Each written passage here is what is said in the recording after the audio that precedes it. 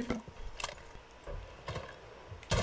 Uh, fucking cunt made me shit myself. I'm still.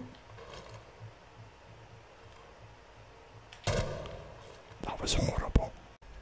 Don't know if you were in a minute ago when I got that headshot on Kavira. She was just standing still, man. It was sweet. Just went.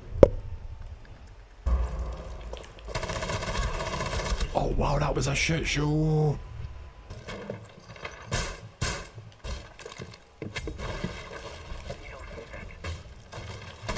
Fucking idiot, man. Why'd you kill me, man? Because you were taking down my barricades. Say me, don't do that.